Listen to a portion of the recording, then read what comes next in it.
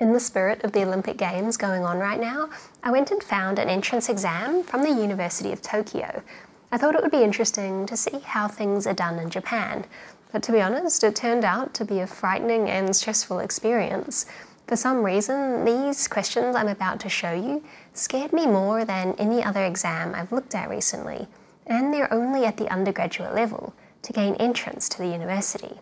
In Japan, students applying to public universities will first take the National Centre test, and with these scores, they can then apply to particular universities where they might be invited to take a department specific test. The University of Tokyo is one of Japan's top ranking universities, and this is their 2021 mathematics test. It's notorious enough that it's inspired a couple of animes, and researchers are even working on a robot that can pass this exam.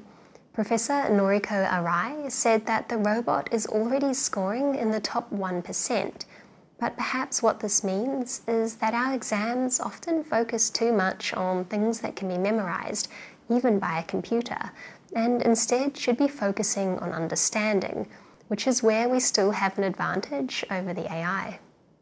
For this exam, students have 150 minutes, and with six questions, that's 25 minutes per question. I've translated them into English, so let's have a read through them.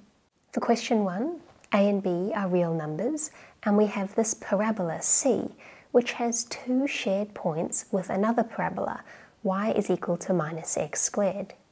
The x coordinate of one shared point is between minus 1 and 0, and the other shared point's x coordinate is between 0 and 1. Part 1 asks to draw the possible ranges of the points A and B on the coordinate plane. And part two is to draw the possible paths of the parabola C on the coordinate plane. And the solutions for this question look a bit like this for part one and part two. In question two, it's all about complex numbers. We have this equation f of z is equal to az squared plus bz plus c. a, b, and c are complex numbers, and i is the imaginary unit. For part 1, let alpha, beta and gamma be complex numbers. If f of 0 is alpha, f of 1 is beta, and f of i is gamma, then denote a, b and c by alpha, beta and gamma respectively. Part 2 asks if f of 0, f of 1 and f of i are all real numbers between 1 and 2, graphically represent the possible range of f of 2 on the complex number plane. Now I'm going to come back in a moment and show my full solution to this one, but in the meantime, maybe have a think about it. I have only used online tools for the translation, so that might make it a little harder than it needs to be to understand, but these still seem really difficult to me.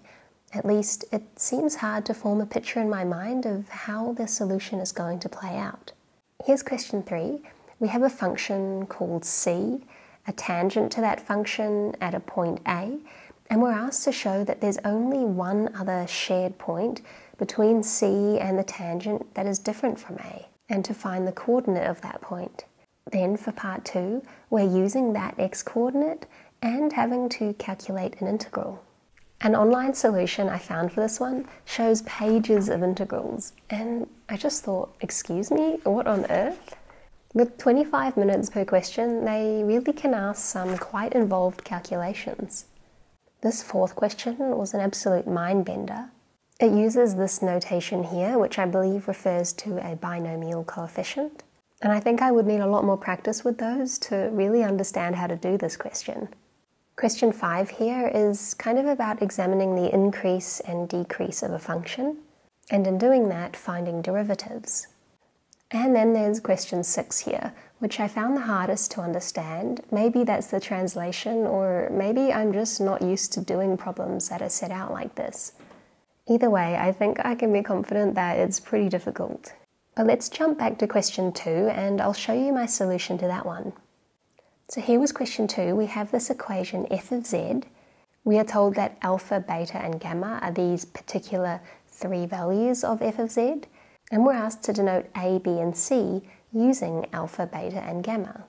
So we can take what they've told us about f of 0 and set z to 0 in the equation. And that would give us c is equal to alpha, which is the first of the three done and definitely the easiest one. Next, we can set z to be 1, and that would be equal to beta. But we don't get any further than knowing that a plus b is equal to beta minus alpha. So we take a look at the third piece of information we're given and set z to be i. That will give us this equation. And rearranging it, we get minus a plus bi is gamma minus alpha. So we've ended up with two simultaneous equations to solve for a and b. We can solve them by elimination to find out what our value of b is in terms of alpha, beta and gamma. Now that we know b, we can sub it back in to find a, which has a similar looking form. I will say the process up to here involved quite a bit of algebra and manipulation of i's and negative numbers all over the place, which leaves for plenty of room to make a mistake. What you're not seeing on this page is all the times I screwed it up myself. But this is the answer for part one. We've represented A, B, and C as they wanted us to. Then for part two, they're saying that alpha, beta, and gamma are all real numbers between 1 and 2. And if we set z to be equal to 2, they want us to graphically represent the range of that function. So if we set z to 2, we get 4a plus 2b plus c. Then if we sub in our previous answers for a, b, and c, we get this pretty long equation here, but we can simplify it all the way down to this line. And what's useful to notice is that whilst alpha, beta, and gamma are just real numbers between 1 and 2, these coefficients in front of them are three complex numbers. So the function is the addition of three complex numbers. And we can even call them z1, z2, and z3. We want to plot the range of this function, and we can actually just find the vertices directly by setting alpha, beta, and gamma to either 1 or 2. Here's how I've done it here. All the possible values of alpha, beta, and gamma would give us a combination that falls between these points, and I've plotted them here on the complex plane. It gives us this kind of hexagon shape, and the range of f2, which is what they asked us for, is the boundary and interior of this shape. You can notice that when alpha, beta, and gamma are all equal to 1 or all equal to 2, that point falls within the shape and so isn't actually necessary to be able to draw the boundary. But you might ask, why does the shape look like this? Well, we can go back and consider the function with just alpha and beta, the first two terms. When we add these terms together with alpha and beta between 1 and 2, we get something like this. It's actually a parallelogram of possible solutions. Here is the point where alpha and beta are 1, and here is the point where they're both 2.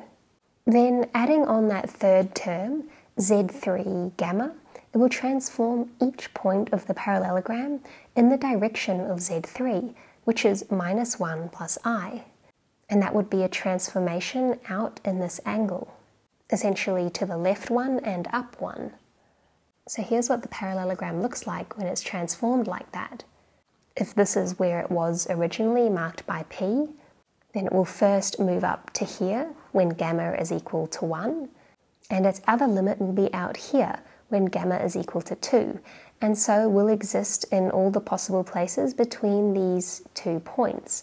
It is just the same hexagon shape that we had before. This kind of smeared out parallelogram shows the range of our solution. I would say this exam deserves a gold medal for difficulty. Of course, with a lot of practice, it might start to look easier if you notice similarities between a lot of past questions. But getting into the University of Tokyo certainly seems very competitive, and you at least need to be very on top of your mathematics. Thanks for watching this video, and thank you to my Patreon supporters for making these videos possible. And a special shout out to today's Patreon cat of the day, Doorknob2.